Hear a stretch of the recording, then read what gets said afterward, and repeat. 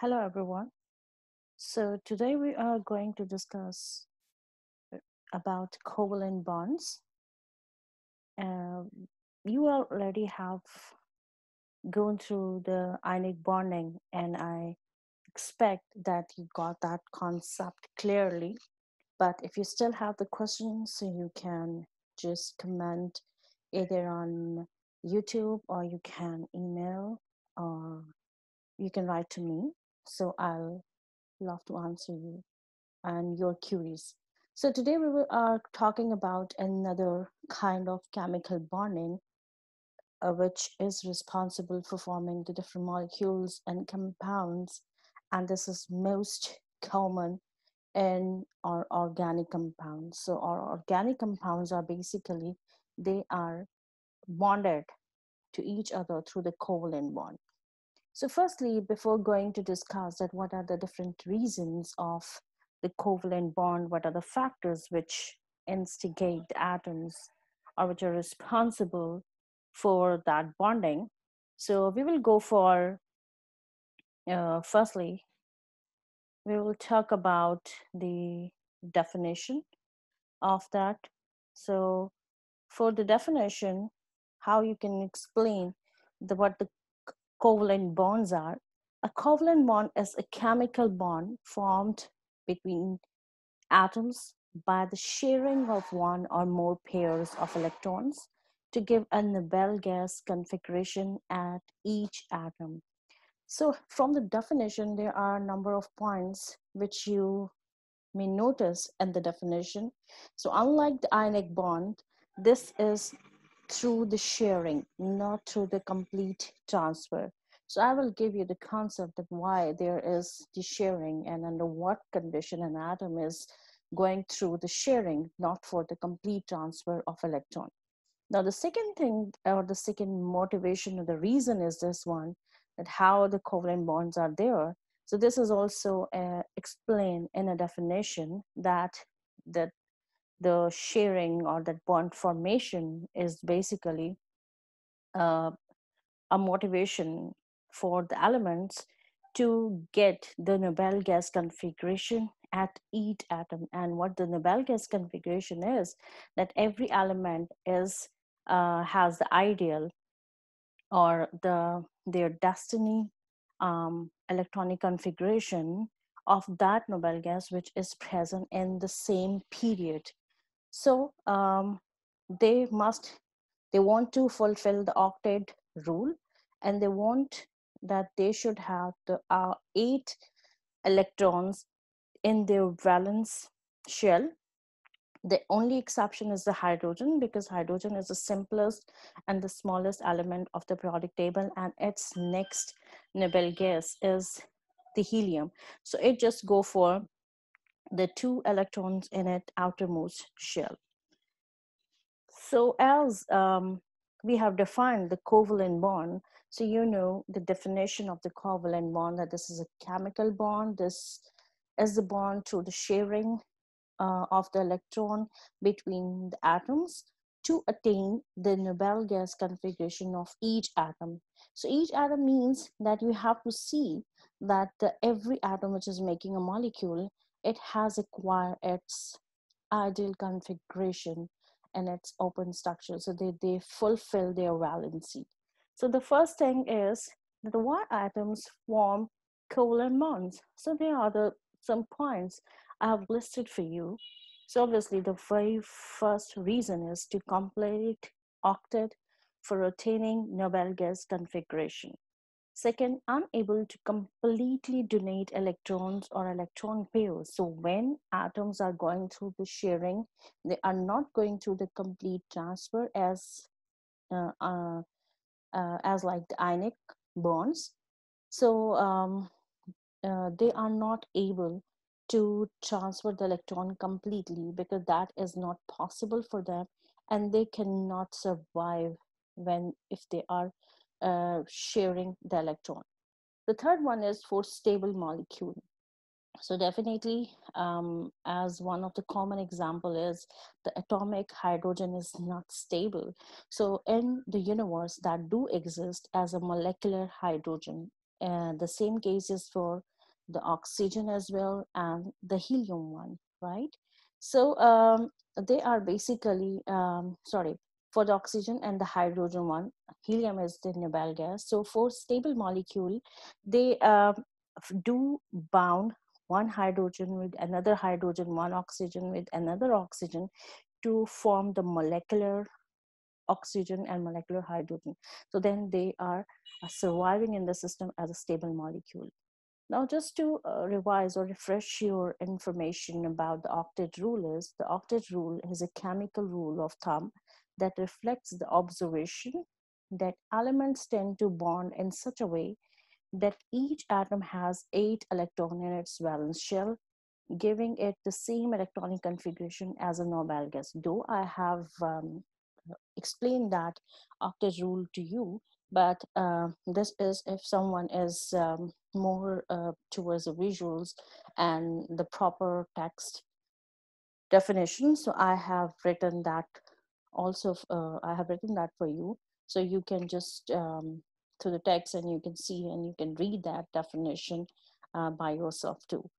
So the next point is, here this is a slide and I wanted to explain this that why the atoms are not going through the complete transfer. So uh, I have picked the daily life examples because then they may illustrate you well. So for example, uh, you have a new roommate uh, if you are um, uh, a hostel light or if you are staying at some apartment and you got uh, you have uh, you got a new roommate and you only have the one bed. So if your uh, roommate is required or he is not able to use the floor bedding and he is maybe he is sick and he requested you for the bed to sleep. So what you will do? So obviously you have only the one bed. So you can't give uh, it whole uh, as a whole that you can't allow that um, you are you are not able to say that okay you can just uh, sleep on a bed and i can use the uh, uh wood flooring uh, floor uh, bedding. So maybe you are also not comfortable uh, on the uh, floor bedding so what you will do is that you will do the sharing, right? So in our daily examples, we do have the different relationships and we have the parents and kids, husband and wife and friends. So there is a mutual relationship when each of the partner is contributing. So we are on a receiving and we are on a donation side. So we are giving something and we are taking something. So, uh, but these relationship could be the polar one if the one partner is giving more and he has more tendency to sacrifice or to contribute and one is on more on a receiving side so there is some kind of polarity so i will explain that what is that polarity and in chemical terminology in covalent bonds how we could explain that so here this is the periodic table so i have just um, crop only the two periods of the periodic table so here this is a hydrogen, which is the very first and the smallest element of the periodic table. And its next noble gas is the helium. So its desired configuration is the two electron in its outermost or the valence electron, valence shell. Now we are talking about the carbon because carbon is making um, most of the universe compound and this is the most abundant element. It is in a protein it is in a carbohydrate and it's uh, a lot of our fossil fuels plants everything. So we are talking about the carbon because in organic chemistry then we are mainly discussing with the carbon. So carbon next noble gas is the neon so it means it has to gain that electronic electronic configuration so I have uh, draw the electronic configuration in terms of the figure. So you can see how many electrons are there in the carbon and in the neon, and then we can compare. So we will be able to see that why the carbon has a desire to make the bond or join covalently to any other element. So this is the electronic configuration and the picture of um, atomic picture of the carbon. So we know the carbon atomic number is six. Its atomic weight is 12. So we are only talking about the atomic number right now because we are involved with electron because these bonding chemical reactions are through the electrons. So the nucleus is not involved in it. So if we do the electronic configuration, so the K is the first shell, which is just next to the nucleus, which is the first most shell, right? In each shell, we have the orbitals. So the K is the first shell. It only has the one orbital and that is the 1s, right? Um, you also should keep in your mind that every orbital can accommodate only two maximum two electrons. So now in K, there are there is only one orbital. In L shell, which is outer, which is the outermost of the carbon, this has the 1s and 1p orbital, though the p orbital is again has the three uh, levels. So this is the px, py, pz. So if you count it, so you can say that there are uh, the three uh, uh, sub p orbitals and there is the one s orbital, right? So maximum of these ones, so two we have accommodated in the first orbital. Uh, electronic configuration is uh, in that way that if the same shell is there, so firstly we have to fill that and the one orbital can accommodate only maximum two electrons, right? Now in L shell, we have the more than one orbitals and each orbital can accommodate maximum two electrons. So from two, we just left with four more electrons because the total number of uh, electrons and the protons in the carbon are the six one. So atomic number is basically the number of electrons or the number of proton by definition of any, of any element. So now you see these magenta electrons are basically, these dots are representing the valence shell electron. The valence shell is the most outermost one. So now you see, if you just look at the neon, neon has a 10 protons, 10 neutrons, and these two are the nucleus or the nucleus um, particles. So these are present in the nucleus. And now we will talk about the electrons. So in its first most uh, shell, which is a K, again, this is a 1s, and the 2 is giving you the idea that the S has the 2 electron. So here, there is the 2 electron. Now it will go the remaining of the electron and we'll place in the different shells. So the L shell has the 3p and 1s orbital. So if you just see is, there is the 1s and px, py, and pz. So each orbital can accommodate maximum of two electrons. So the maximum electron which can place in the L shell are eight. So in its outermost shell, these are the eight electrons. So it already has filled it. That's why this is a noble gas. Noble, uh, the term we use, uh, we have assigned to this eighth group is because they are not reactive, because they don't have any desire to complete their uh, valence shell. So now the carbon is looking for that ideal. So this is its ideal configuration. So what the carbon can do? Carbon has a four electron and it need four more electron to complete its octet one. So what it can do? It can't afford to donate completely any of the electron because it has to fulfill that valence shell with eight electrons. What it can do is it can share with the four elements and it can develop the four covalent bonds to complete its octet one. Now this these elements which are in bonding with the carbon can be the carbon, can be nitrogen, can be oxygen, can be hydrogen, any of which can share its electron with that one. So right now I'm just taking an example of hydrogen because this is the simplest one and uh, you are familiar with this one. So carbon will make uh, add the four hydrogen with that.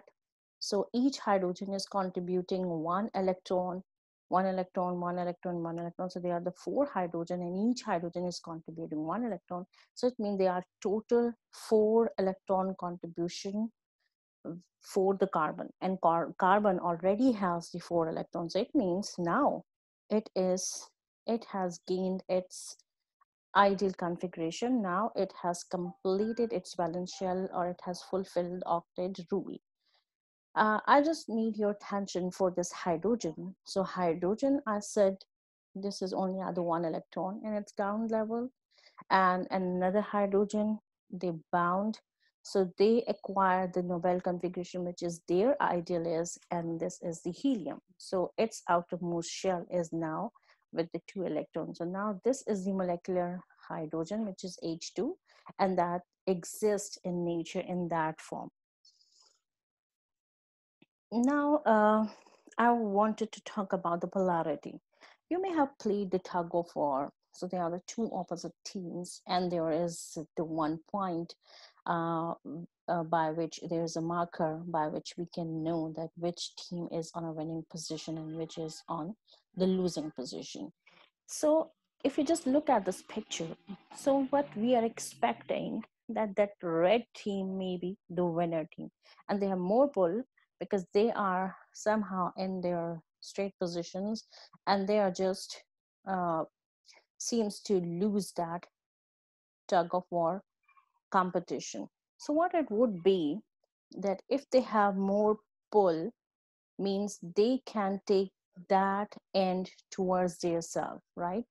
And they will push that team will be pushed towards the red side. It means they are losing elect uh, that knob. And in chemical terminology when there is a bonding so one atom one side can pull electron with the more power another one is with the less power and that power or that push is on the basis of their electronegativity so electronegativity we have defined is a tendency to pull the electron pair and uh, bonding towards itself. So if an atom has the more electronegativity, it means that has a more tendency to pull the electron pair towards itself. So more electronegative element will get the uh, partial negative charge, right? and which is losing that electron which don't have higher electronegativity and they are less electronegative element and it is not very tightly bonding that electron pair so that will get partial positive charge.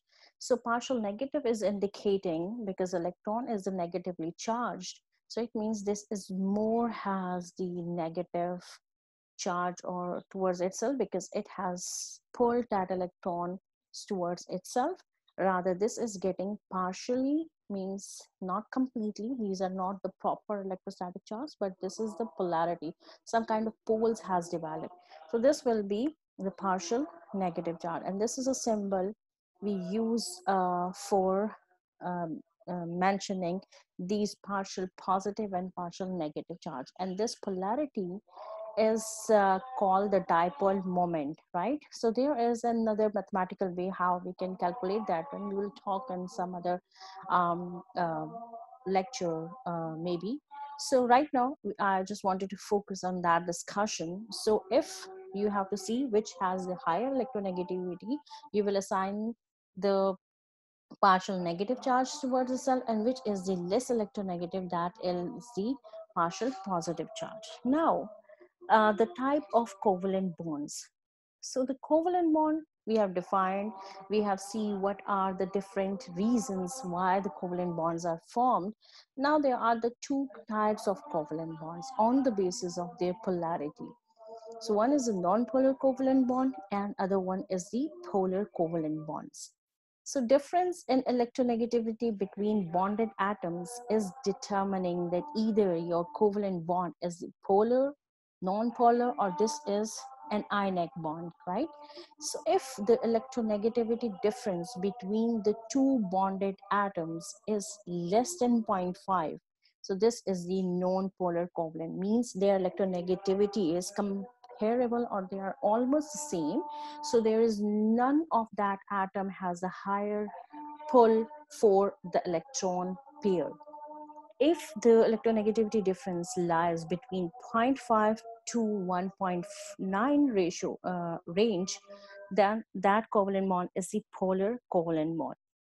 If the difference is greater than 1.9, then this bonding is the ionic bond. And then there will be the complete electrostatic um, uh, charges and that kind of charges we mention as a plus and negative. But in case of the covalent bonds, we mention the partial positive and partial negative charges. So um, uh, electronegativity values are predetermined for each of the element in the periodic table. So if you just Google, you can get the complete list of the electronegativity values of all of these elements which are which are discovered and which are in the periodic table. So now I have a practice question for you. So for uh, solving this question, you have a hint that just consult the table on the slide five, where I have mentioned that if the difference is less than the 0.5, uh, the covalent bond will be non-polar. If that lies between 0.5 to 1.9, this is a polar. And if this is exceeding the 1.9, then this is the ionic bond. So now I have given you the electronegativity values which are discussed and have asked in these examples or in these in this question so there's a lithium which has the electronegativity value 1.0. Carbon is 2.5, chlorine 3.0, hydrogen 2.1, and fluorine is the um, most electronegative element. This is the 4.0 because this is at the top of the halogen uh, the seventh group, if you just look at the periodic table. Magnesium has the 1.31. So this has the least electronegativity and they are usually, when they are not with the carbon, these are with some of the halogen. So they always go for the ionic bonds because this has more electropositivity and less electronegative value because that can easily donate, completely transfer the electron. So now uh, in A, this is an example that this is a molecule which is based on the lithium and the fluorine. So these are the two atoms which is combined and they have formed a bond and they have formed a molecule. This is the lithium fluoride, right? There is the methyl fluoride or fluoromethane. This is the magnesium chloride and this is the hydrogen chloride or HCl. So you have to find each of these that what are the kind of bonding they have. Either they have uh, ionic and or the covalent, and if they have the covalent, so which kind of covalent they have, either the polar or the non-polar. So uh, uh, that uh, practice question will uh, uh, you have to solve and submit on the Moodle. So then that will be graded for your this lecture task. Well, thank you. Have a good day.